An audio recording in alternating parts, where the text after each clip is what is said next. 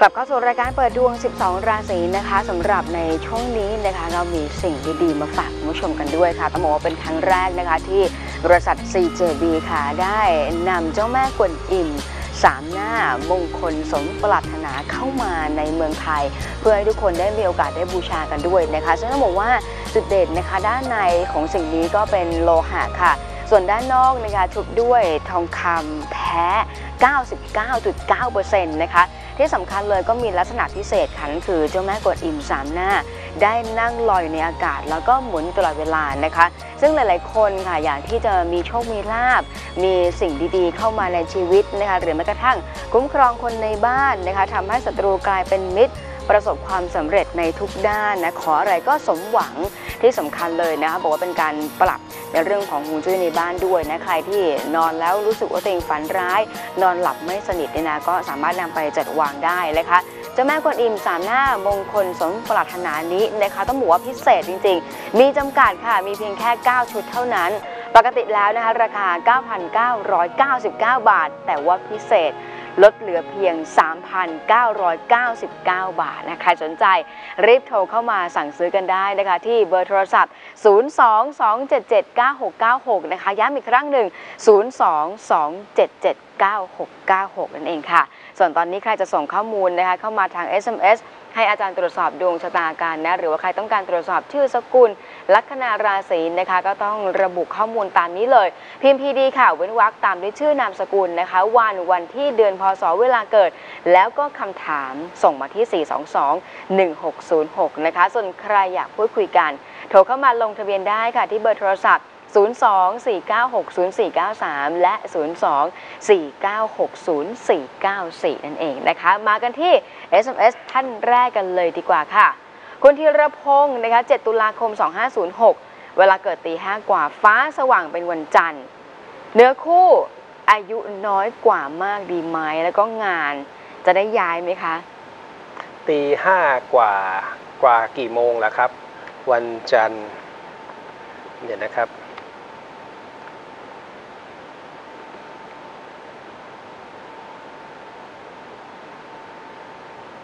เอ่อ คือจริงๆในในพื้นชะตาเนี่ยก็ไม่ได้ระบุว่าควรจะมีคู่ที่อายุมากหรือน้อยกว่า อันนี้คือกรณีถ้าคุณเกิดก่อนฟ้าสว่างนะครับ แต่ว่าถ้า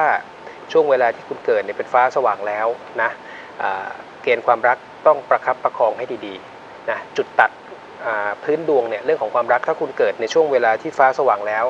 เเกณฑ์ความรักไม่ค่อยดี แต่เกิดในช่วงเช้ามืดยังเป็นคนวันอาทิตย์อยู่เนี่ย กณฑ์ความรักถือว่าใช้ได้นะครับส่วนการโยกย้ายเปลี่ยนแปลงเรื่องงาน อาจจะเป็นในช่วงอายุย่าง 53 ครับ SMS ต่อมาค่ะ คุณนานะคะ 27 มีนาคม253อ่า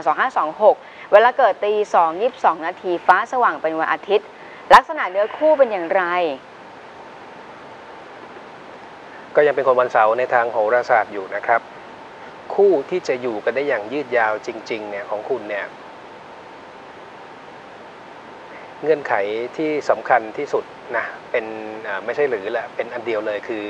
ควรจะเป็นคนที่มีตำหนิเท่านั้นนะครับได้คู่ที่เคยใช้ชีวิตอยู่กินกับคนรัก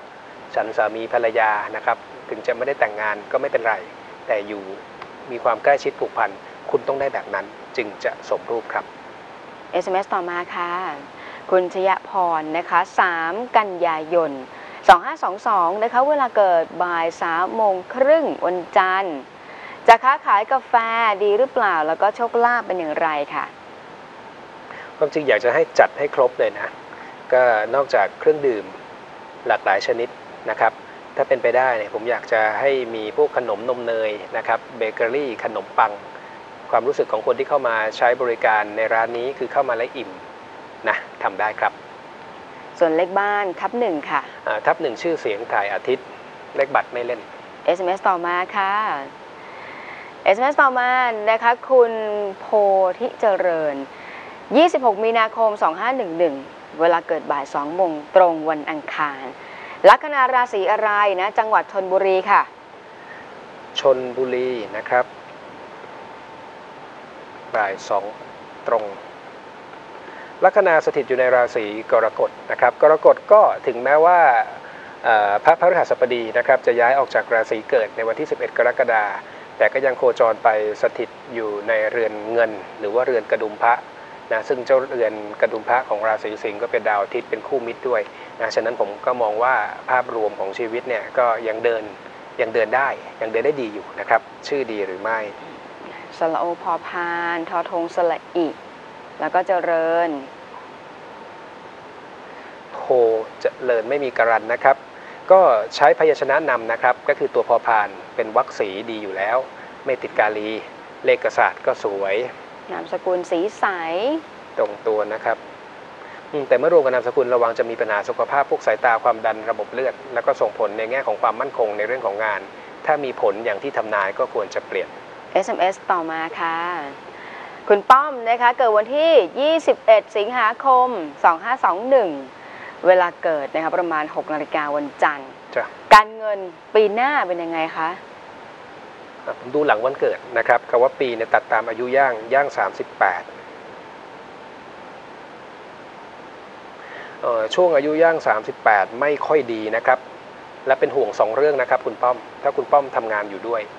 นะ ก็ในแง่ของงานถ้าทำมาค้าขายทำธุรกิจก็อาจจะมียอดหรือผลประกอบการลดถอยลงนะครับมีปัญหามีการโยกย้ายเปลี่ยนแปลง และสภาพคล่องให้ระวังในแง่ของภาระหนี้ หลังวันเกิดถ้าเป็นไปได้นะครับถวายสังฆทานเพราะว่าน้ำดื่ม 15 ขวด และถ้าทำเป็นประจำได้สักเดือนละครั้งหรือ 2 เดือนครั้งยิ่งดีนะคะ SMS ต่อมาค่ะ คุณนภาพรนะคะ ถามเรื่องของครอบครัวและโชคลาภ5กันยายน 2515 นะคะ เวลาเกิด 11 นาฬิกาครับไม่ได้บอกวันนะ ครอบครัวโชคลาภเป็นอย่างไร 5 กันยา 15 ปฏิทินตรงกับวันอังคารนะครับ ถ้าไม่ใช่กรุณาส่งคำถามเข้ามายืนยันอีกครั้งหนึ่งนะครับ ตอนนี้อายุย่าง 43 ก็ด้วยพื้นชะตาโยงมรณะเกณฑ์ความรักก็อาจจะไม่ค่อยสมบูรณ์ นะครับแต่ว่าปีจรเข้าย่าง 44 ความรักความสัมพันธ์ ถ้าจะมีปัญหาอะไรก็ปรับตัวดีขึ้น ที่เป็นห่วงจริง ๆ จะเป็นห่วงในช่วงอายุย่าง 45 แต่เกณฑ์เรื่องของโชคลาภด้วยพื้นดวงไม่เฉียร์ครับ ส่วนเลขบ้านนะทับ 192 ค่ะ 92 เสน่ห์และความสำเร็จดีครับ ทะเบียนรถ 3444 ฝากนิดเดียวฉลาดแต่บางครั้งพลาดง่าย ๆ ระวังทำบุญกับคนไม่ขึ้น SMS ต่อมาค่ะ คุณดำรงนะคะเกิดวันที่ 21 มกราคม 2496 ครับ พุธกลางวันนะคะ ถามเรื่องของโชคลาภเรื่องของหนี้สินแล้วก็สุขภาพ ความจริงในแง่ของสภาพคล่องเนี่ยต้องบอกว่าไม่ค่อยดีมาตั้งแต่ช่วงย่าง 62 แล้วใช่หรือไม่คุณดำรงนะครับ แต่เข้าย่าง 63 เนี้ยหายใจหายคอคล่องขึ้นบ้าง แต่สิ่งที่อยากจะฝากให้ระวังจะเป็นเหมือนฟันปลานะครับ เข้าย่าง 64 ในแง่ของสภาพคล่องก็อาจจะมีโอกาสใกล้เคียงกับย่าง 62 อีกครั้งหนึ่ง ฉะนั้นช่วงนี้ถ้าพอหายใจคล่องเนี่ยวางแผนล่วงหน้าให้ดีนะ ส่วนในเรื่องของการเสี่ยงโชคนั้นผมไม่เชียร์ สุขภาพระยะยาวก็ฝากเอ่อในเรื่องของอาช่องท้องปวดศีรษะเรื้อรังนะครับ แล้วก็อีกกลุ่มหนึ่งฮะจะเป็นพวกกล้ามเนื้อกระดูก ส่วนเลขบ้านนะคะ 655เอ่อห้าห้าพระฤหัสสองดวงก็เสริมในเรื่องของหลักฐานความมั่นคง สนใจเรื่องของศาสนา ซึ่งเป็นเรื่องที่ดีอยู่แล้ว แล้วก็มีโอกาสได้ใช้ชีวิตต่างถิ่นฐานในบ้านปลาย เบอร์โทรศัพท์ 72 ค่ะ ไปเปลี่ยนนี่ก่อนเลยนะเสาทับจันทร์จะพลันร้ายทรัพย์สินหายลูกเมียหนีครับ อันนี้ให้ใช้ 52ฮะเสริมในเรื่องของหลักฐานความมั่นคงเพราะเป็นคู่ธาตุดิน SMS ต่อมาค่ะ คุณสุชาดานะคะ 23 พฤศจิกายน 2523 นะคะ เวลาเกิด7นาฬิกาตรงวันอาทิตย์ ถามเรื่องของการเงินโชคลาภแล้วก็ความรักค่ะ รักเป็นอย่างไรตอนนี้ย่าง 35 ถ้ายังโสดจะมีเกณฑ์รักใหม่ แต่จะคลุกคระหน่อยนะฮะ ก็คืออยากจะให้มองเป็นในเรื่องของการจูนกันมากกว่า ในทางกลับกันถ้ามีคู่คำพูดสำคัญ ปีนี้ให้หลีกเลี่ยงการประทะพูดให้น้อยๆ เวลามีปัญหา ส่วนในเรื่องของสภาพคล่องเเกณฑ์การเงินต้องบอกว่าถ้าจะารื่นกว่านี้ นะครับคล่องตัวกันนี้อาจจะต้องรอถึงย่าง 36 มีเกณฑ์ในเรื่องของการทำธุรกรรมทางการเงิน มีลุ้นในเรื่องของพวกยวดยานพาหนะนะครับเอาละมาในส่วนของสายกันบ้างดีกว่านะคะ สวัสดีค่ะ สวัสดีค่ะค่ะจ้าจ้าสวัสดีชื่ออะไรครับคะพลอยสุพัฒน์ค่ะ วันเดือนปีเกิดเวลาเกิดค่ะหนึ่งเมษาค่ะ1เมษาพศค่ะสองห้าหนึ่งสี่ค่ะ เวลาเกิดเท่าไหร่คะคือแม่เอาจำไม่ได้เลยประมาณวันค่ะ ช่วงกลางวันเนาะวันจันทร์ค่ะจ้ะนี่ชื่อมีการปรับมาแล้วหรือยังครับเนี่ย คุณพลอยประพัฒน์ชื่อนี่เป็นชื่อดั้งเดิมเลยหรือว่ามีการเปลี่ยนไปแล้วฮะอ๋อเปลี่ยนค่ะ เปลี่ยนแล้วนะอะโอเคอะวันนี้จะถามเกี่ยวกับเรื่องอะไรกัมมะเป็นกาลีห่วงเรื่องงานอยู่หรือเปล่าครับค่ะ ตอนนี้ทำงานอยู่หรือเปล่าครับวันนี้ยังไม่ได้ทำค่ะตอนนั้นถ่ายเอ่อลูกชิ้นทอดอยู่ค่ะครับอะอย่างนี้นะอะฟังให้ดีนะครับ ค่ะ เอ่อจริงๆแล้วของกินถือว่าพอใช้ได้ เพียงแต่ว่าลักษณะของของกินที่ขายนั้น เมื่อกี้บอกอะไรขายลูกชิ้นทอดใช่ไหมฮะค่ะเอ่อของกินของคุณถ้าจะมันให้ถ้าจะทำให้สมรูปจะต้องเป็นลักษณะพวก ที่มีเหมือนก็เป็นอาหารต่างประเทศอะยกตัวอย่างพวกอ่าอาหารเวียดนามนะก๋วยเตี๋ยวนี่ก็อาหารจีนนะหรือว่าพวกอ่าแฮมเบอร์เกอร์ไส้กรอกพวกเนี้ยถ้าทำของกินทำลักษณะอย่างนั้นจึงจะสมรูปนะลองดูนะว่าเราว่าเราจะจะจะทำได้หรือเปล่า แต่ว่าถามมีกลุ่มอาชีพอื่นไหมที่เด่นฟังดูนะครับค่ะก็ถ้าคุณทำเกี่ยวข้องกับพวกสุขภาพนะถ้าไปเรียนนวดแผนไทยนะอ่า หรือแม้กระทั่งการศึกษาพวกโหราศาสตร์ และอีกกลุ่มหนึ่งนะครับอ่าเกี่ยวข้องกับพวกลักษณะงานด้านการขายนะขายตรงก็ได้ หรือถ้ามีทำเลหน้าโรงเรียนขายพวกเครื่องเขียนอุปกรณ์การเรียนก็น่าสนใจ อันนี้คือสิ่งที่เด่นนะครับ แต่ทั้งหลายทั้งปวงปีนี้ยังไม่อยากให้ลงทุนใหญ่เพราะเกณฑ์งานไม่ค่อยดีครับค่ะจ้ะก็มีสองทางเลือกนะถ้าทำของกินก็ลองพยายามทำให้มันสมรูปอย่างที่ผมเรียน หรือว่าจะเปลี่ยน มาเป็นกลุ่มที่มันเด่นในพื้นชะตาอย่างที่ผมบอกกล่าวไปเมื่อสักครู่ครับถามอะไรเพิ่มเติมไหมคะค่ะแล้วเออเอาภาพไปเลยนะอะไรนะสุขภาพเหรอฮะค่ะก็ของคุณเนี่ยเมื่อกี้ตอนที่บอกว่าจะให้ไปเรียนนวดก็แอบเป็นห่วงอยู่เหมือนกัน เพราะตัวคุณเองก็จะมีปัญหาพวกกล้ามเนื้อเส้นเอ็นอยู่แล้วนะครับค่ะแล้วก็ช่วงหลังก็ไม่ค่อยดีถูกไหมฉะนั้นก็ไอ้เรื่องจะไปเรียนนวดประเมินสุขภาพตัวเองก่อน แต่หลักๆเลยนะพวกพวกกล้ามเนื้อเส้นเอ็นเวลาเคล็ดขัดยอกซ้นอะไรพวกนี้คุณจะเป็นต่อเนื่องหายช้านะครับ แล้วก็อีกกลุ่มหนึ่งเมื่อกี้ที่เตือนเรื่องของหลัง อยากให้ไปเช็คพวกไขมันด้วยนะ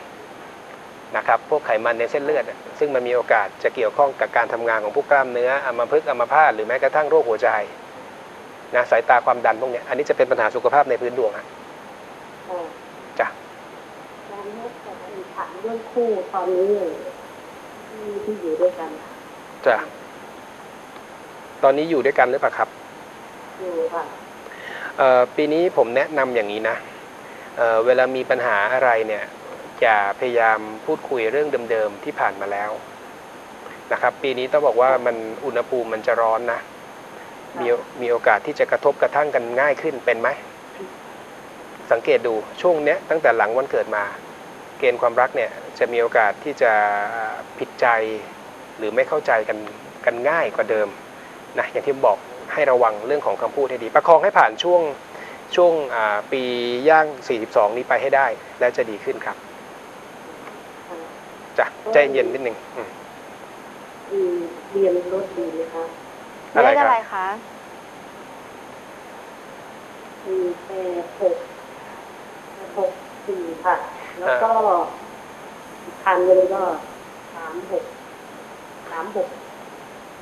สามหกเจ็ดค่ะจำไม่ได้ก็มันเป็นคู่ศัตรูทั้งทั้งสองสองสองเลขอะนะฮะหกเจ็ดก็เป็นคู่ศัตรูสี่แปดก็เหมือนกันใช้น้ำพระพุทธมนต์บริกรรมคาถาชินบัญชรแปะไปที่เลขเจ็ดแล้วก็เลขแปดครับจ้ะอะโอเคนะจ้ะอืเอามละอยากอยากถามเรื่องลูกเดี๋ยวรบกวนลงทะเบียนกับน้องทีมงานเลยนะครับค่ะ จ้าขอบคุณค่ะ สวัสดีค่ะ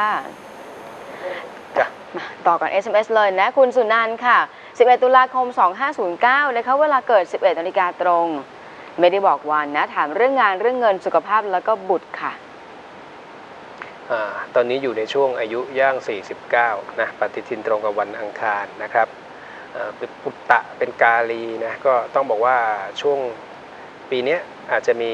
มันเป็นไปได้โหราศาสตร์เป็นเรื่องของและหรือนะครับ คุณอาจจะมีปัญหาไม่เข้าใจกับบุตรก็ได้ ช่วงนี้ไม่ค่อยอยู่อยู่ใกล้กับบุตรก็ได้ หรือตัวบุตรเองมีโอกาสจะเกิดปัญหาสุขภาพ ฉะนั้นโดยองค์รวมนะปีนี้ก็พยายามทำทานด้วยการให้ความช่วยเหลือสัตว์ สุนัขจรจัดถ่ายชีวิตโคกระบือก็ได้ ตามกำลังศรัทธา ส่วนในแง่ของสุขภาพของคุณนั้นนะครับพุทธอยู่ในเรือนโรคภัยไข้เจ็บ แล้วก็ไม่เด่นด้วยในพื้นดวงก็ให้ระวังพวกไมเกรนฮะช่องปากแผลในปากเหงือกฟันนะหรือแม้กระทั่งพวกทางเดินหายใจ อันนี้เป็นหลักๆอีกกลุ่มหนึ่งฮะถ้าญาติผู้ใหญ่เป็นในเรื่องของเบาหวานดูให้ดีๆ เช่นเดียวกัน SMS ต่อมาค่ะ คุณชดาพรนะคะ เกิดวันที่ 15 พฤษภาคม 2540 ค่ะ เวลาเกิด7นาฬิกา54 นาทีนะคะถามเรื่องของการงาน การเงินความรักแล้วก็เรื่องของคู่ เรื่องเงินก็ต้องบอกว่าเอ่อตอนนี้ 17 นะ ตอนนี้มีปัญหาเรื่องเงินอยู่ใช่หรือไม่นะครับ แล้วก็ต้องบอกว่าย่าง 18 ก็ยังจะอยู่ในสภาวะการที่ใกล้เคียงหลังวันเกิดนะครับ ถ้ามีโอกาสนะอายุยังไม่มากไปอ่าเขาเรียกว่าบำเพ็ญบำเพ็ญประโยชน์ โดยการไปทำความสะอาด อาจจะเป็นห้องน้ำที่วัดก็ได้ยิ่งดีเลยนะครับแล้วเจอเจอคนชราขอให้ทำทานนะครั้งละสิบบาท คือหลักๆเลยพ้นให้ได้ช่วง 2 ปีนี้ ส่วนในเรื่องของความรักจริง ๆ ด้วย ช่วงวัย 19 ถ้ายังโสดก็ยังไม่อยากจะให้รีบร้อนเพราะเกณฑ์ความรักใหม่ไม่เด็ด ถ้ามีคู่อยู่แล้วหลังมันเกิดก็ส่งส่งๆนะ SMS ต่อมาค่ะ SMS ต่อมานะคะ คุณวิริยะ ทะเบียนรถ 482 ค่ะเอ่อราหูจันทร์เป็นคู่หนี้สินนะครับ แล้วก็ระวังเรื่องการถูกแย่งรักชีวิตมันเดินไม่สุด อันนี้ใช้น้ำพระพุทธมนต์บริกรรมคาถาชินบัญชรและตั้งจิตอธิษฐานให้ดีนะครับ ขออำนาจพระพุทธคุณ พระธรรมคุณ พระสังฆคุณ ปัดเป่าอิทธิพลของดาวที่ไม่ดี แตะไปที่เลขแปดโทรศัพท์ 80 อ่าอันนี้คือเราฟังในเรื่องของสิ่งลึกลับมาเกี่ยวข้องกับชีวิต ไม่อ่าผมใช้อย่างนี้เลยฮะ ใช้ 95 สิ่งศักดิ์สิทธิ์และความสำเร็จ SMS ต่อมาค่ะ คุณอาพรนะคะ เกิดวันที่ 11 เมษายน 2536 เวลาเกิดค่ะ9นาฬิกา5นาทีวันอาทิตย์ถามความรักค่ะ ปฏิทินตรงกับวันอาทิตย์ถูกต้องอ่าอะปีนี้เตือนให้ระวังเรื่องเงินกับอุบัติเหตุด้วยนะ แล้วก็พยายามอย่าสร้างศัตรู ปีนี้มีและเสียเปรียบไม่สบายใจอ่าให้คุณไปถวายของมีคม จะเป็นมีดโกนใบขนนกก็ได้สองคม พระสงฆ์ท่านใช้ปลงผมนะครับส่วนความรักย่าง 23 และ 24 นี้ประคับประคองให้ดี โดยเฉพาะในช่วงย่าง คือปีนี้อาจจะมีเข้ามาถ้ายังโสด แต่ย่าง 24 ความพลิกผันพร้อมจะเกิดขึ้นอยู่เสมอครับ เอาล่ะในช่วงหน้าสามารถส่งข้อมูลเข้ามาทาง SMS นะคะให้อาจารย์ตรวจสอบดวงชะตากันได้ แล้วก็อย่าลืมระบุข้อมูลเข้ามาให้ครบนะคะวันวันที่เดือนพศ เวลาเกิดแล้วก็คำถามส่งมาที่ 422 1606 พักกันสักครู่ค่ะครับ